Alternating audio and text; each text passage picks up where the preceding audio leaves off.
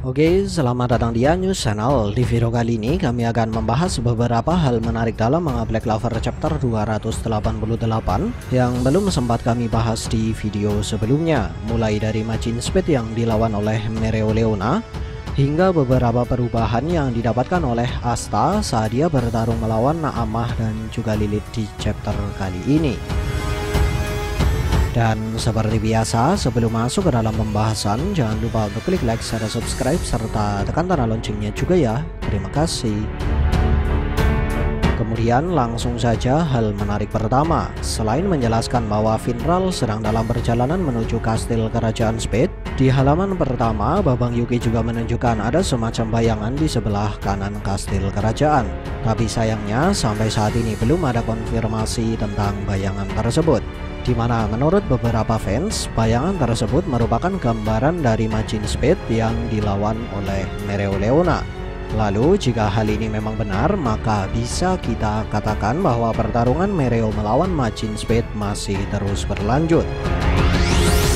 Mengingat seperti yang kita tahu, tubuh Majin Speed akan menghilang setelah berhasil dikalahkan. Hal menarik kedua dengan memperlihatkan sebuah lubang pada dinding kastil kerajaan, sang autor sudah mengkonfirmasi bahwa Asta datang ke tempat Nahato dengan cara terbang dan menerobos dinding kastil kerajaan Spade.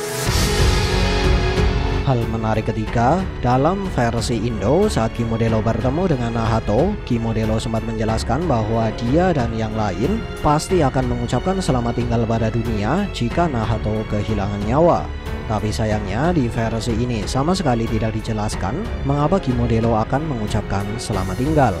Untung saja dalam versi Inggris dijelaskan bahwa jika Nahato mati maka Kimodelo dan yang lain akan mendapatkan perlakuan yang buruk dari mereka hingga bisa membuat hidup Kimodelo dan yang lain terancam.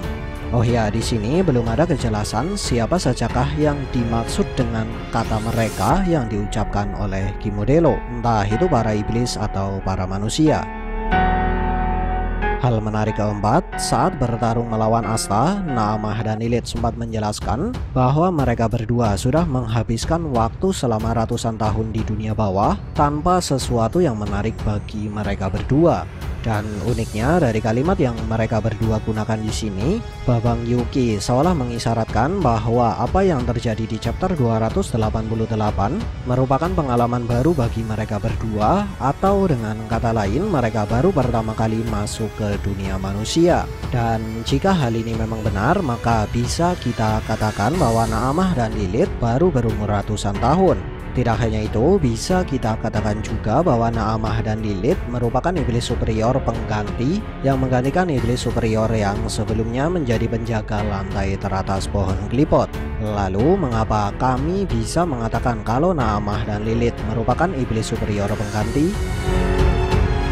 Ya, tentu saja karena dua alasan. Alasan pertama, seperti yang kami jelaskan tadi bahwa dari perkataan Amah dan Lilith di chapter 288, mereka berdua seolah baru pertama kali masuk ke dunia manusia, serta baru pertama kali merasakan sesuatu yang sangat menarik. Alasan kedua, karena di chapter 252 saat menjelaskan tentang salah satu kemampuan Ratu Kerajaan Hati, sang autor sempat memperlihatkan gambaran dari para manusia yang sedang disiksa oleh para iblis. Di mana hal ini sudah mengisyaratkan bahwa di masa lalu gerbang klipot pernah terbuka dan para iblis pernah masuk ke dunia manusia. Dan sepertinya sudah terjadi sesuatu pada beberapa iblis superior pada insiden tersebut, hingga sebagian dari mereka harus digantikan oleh iblis yang lain. Hal menarik kelima, perubahan logo di dada Asta. Sebuah detail kecil yang bisa kita lihat dengan jelas dalam versi resmi, tapi tidak terlihat dengan baik di versi terjemahan fans di mana dalam versi resmi terlihat dengan jelas bahwa cabang dari logo di dada Asta sebenarnya dapat mengembung atau membesar. Lalu lewat perkataan Asta, sang autor sudah menjelaskan bahwa perubahan di setiap cabang dari logo tersebut sudah mewakili satu menit waktu penggunaan Devil Union Mode. Dan karena hal inilah bisa kita simpulkan dua hal. Pertama, logo di dada Asta merupakan sebuah timer atau petunjuk batas penggunaan Devil Union Mode. Kedua, karena satu menit adalah seperlima dari lima menit, maka bisa kita pastikan bahwa setiap cabang dari logo tersebut sudah mewakili seperlima dari waktu penggunaan. Jadi jika Asta sudah bisa menggunakan Devil Union Mode selama 10 menit, maka setiap cabangnya akan mewakili waktu 2 menit dan seterusnya. Hal menarik keenam, Devil Union Mode dapat memperkuat kemampuan dari pedang Asta dan setidaknya itulah salah satu poin yang bisa kita simpulkan dari chapter 288. Ya walaupun sebenarnya hal ini sudah beberapa kali diperlihatkan di chapter-chapter sebelumnya, di mana berkat poin inilah di chapter 288 Asta dapat memperkuat kemampuan Inga Kaiho dari pedang ketiga atau Metsuma no Suruki. Lalu, apa itu kemampuan Inga Kaiho? Nah, untuk menjelaskan hal ini, kami akan memberikan dua fakta menarik dari chapter terdahulu.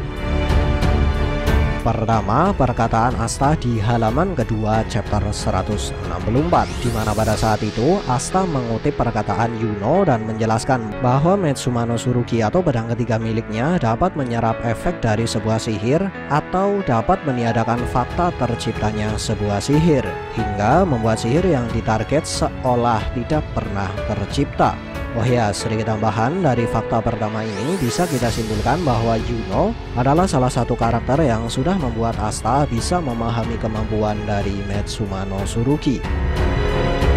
Kedua dari perkataan Couch yang sedang dikendalikan oleh Elf di chapter 187 di mana pada saat itu dia menjelaskan bahwa pedang peninggalan sang Elder Elf ini dapat digunakan untuk meniadakan semacam hubungan sebab akibat dari sebuah sihir. Kemudian perbedaan cara kerja dari Metsuma no Suruki sebelum dan sesudah berevolusi. Pertama, sebelum Asta menguasai Devil Union Mode atau sebelum Metsuma no Suruki berevolusi.